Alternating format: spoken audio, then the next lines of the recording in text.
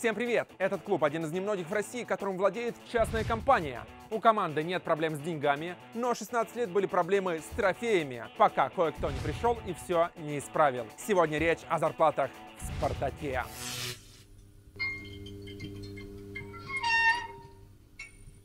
Сначала, как всегда, делим игроков и их оклады на 5 категорий. Молодежь и запас до полумиллиона евро в год, под основой до миллиона, основа до двух, лидеры до трех, и суперзвезды в «Спартаке» зарабатывают более 3 миллионов евро в год. Начинаем с первой категории, и тут одна молодежь. Получают все в основном по 100-200 тысяч евро в год. Константин Щербаков, правда, пока выступает за «Спартак-2». Зимнего новичка, самого младшего из братьев Еременко, Сергея тоже к основе не подпускают. А вот Артем Тимофеев регулярно попадает в заявку красно-белых и проводит в премьер-лиге по 3-5 игр за сезон, 300 тысяч. Еще в этом году Массимо Каррера стал доверять полузащитнику Зелимхану Бакаеву, Андрееву уже 5 игр в РФПЛ.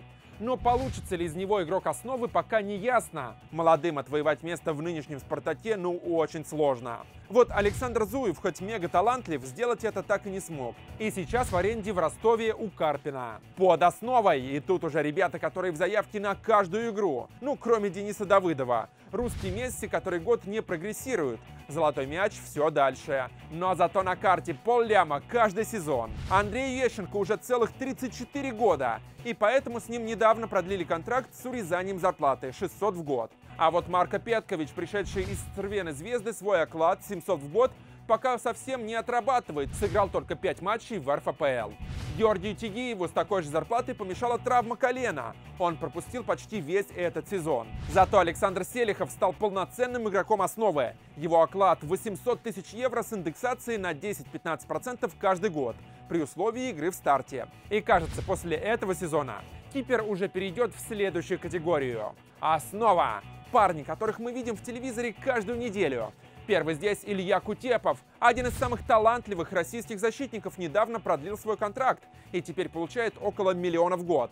До этого было 250 тысяч. Никола Максимович пришел в аренду из Наполи, там зарабатывал 1,2, в Москве примерно столько же, может даже больше. Артем Ребров превратился в запасного вратаря, зато продолжает получать 1,3 в год, штанги без него скучают. Георгий Джики потихоньку превращается в лучшего российского защитника, поэтому и зарплата у него выросла почти до полутора миллионов в год. Такой же оклад у Жано Ананидзе. Грузину ужасно мешают травмы, будто кто-то сглазил. А вот Педро Роша травмы не мешают. Ему мешает поле, круглый мяч, комары и вообще, видимо, все подряд. Потому что выглядит он, ну, очень слабо. Сальваторе Бакетти в первые годы в «Спартаке» получал 2,6 в год, сейчас 1,8.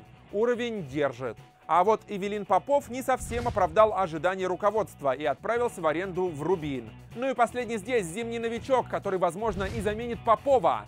Софьян Хани. Зарабатывает алжирец также 1,8. В первых матчах за красно-белых смотрелся неплохо. Лидеры – парни, которых нужно благодарить за прошлогоднее чемпионство. По 2 миллиона в год зарабатывают сразу 4 футболиста. Форвард Зелуиш очень полезен на поле, по оценкам он лучший в этой категории. А вот Лоренцо Мельгареха ожидания не особо оправдывает. Он лишь игрок ротации, хотя покупался под основу. Дмитрий Навес Камбаров – в стане красно-белых незаменим, без него было бы сложно. А вот находящийся в аренде Марио Пашалич должен был стать игроком старта, но, как и Мильгареха, в основном выходит на замену. Летом вернется обратно в Челси, хотя что ему вообще там делать? Сердар Ташчи, защитник откровенно средненький, но для обоймы сойдет. Получает, правда, многовато, 2,2. А вот Роман Забнин стал открытием прошлого сезона и свои 2,4 в год заслужил. Правда, после травмы никак не может вернуться на прежний уровень. А Александр Самедов, учитывая возраст, 33 года, по мнению многих, зарабатывает слишком много, 2,5. Но в прошлом сезоне Хавбек очень сильно помог с завоеванием чемпионства.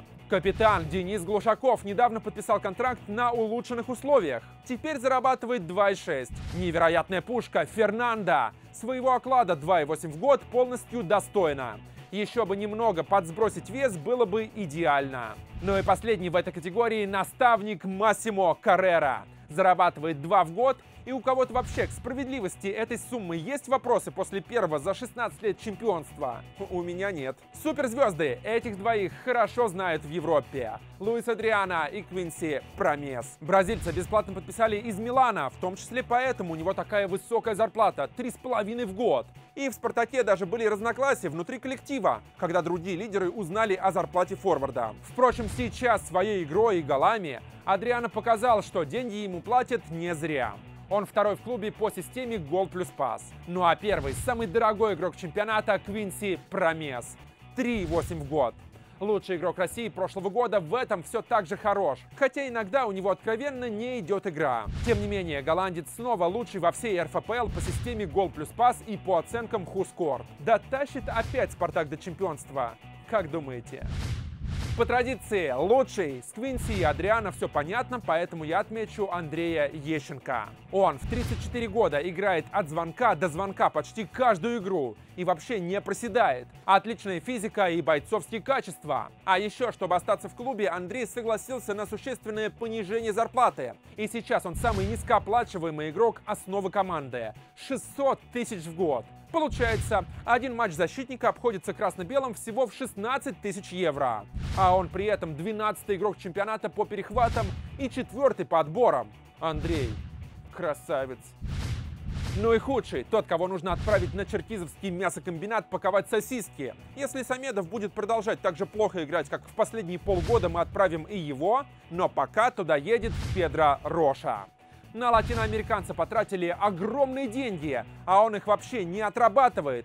Его называли будущим сборной Бразилии. Но когда в Москве игрок выходит на поле, все делает не в попад. И кажется, лучше ему было бы вечно сидеть на банке. По оценкам Хускорт, бразилец худший игрок Спартака в этом сезоне вместе с Жано Ананидзе. Но зато полтора ляма в год. То есть вместе с суммой трансфера два сезона игры бразильца обойдутся Спартаку в 15 миллионов евро. Это больше миллиарда рублей за Педро Рошу. А вот если бы летом прошлого года владелец «Спартака» Леонид Федун вложил бы эти деньги в свиноводство, то к июлю мог бы вырастить 22 тысячи поросят и раздать по одному каждому болельщику «Спартака», пришедшему на рядовой матч чемпионата. А что, полезная ведь трата. Явно полезнее присутствие в команде Педро Роши.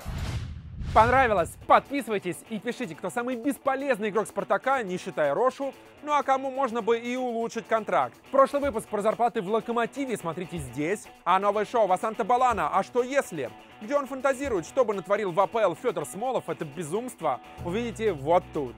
Ну и больше мультиков на канале Мультбол. Подписывайтесь. Александр Журавлев, ну и подписывайтесь на мяч, разумеется. Пока.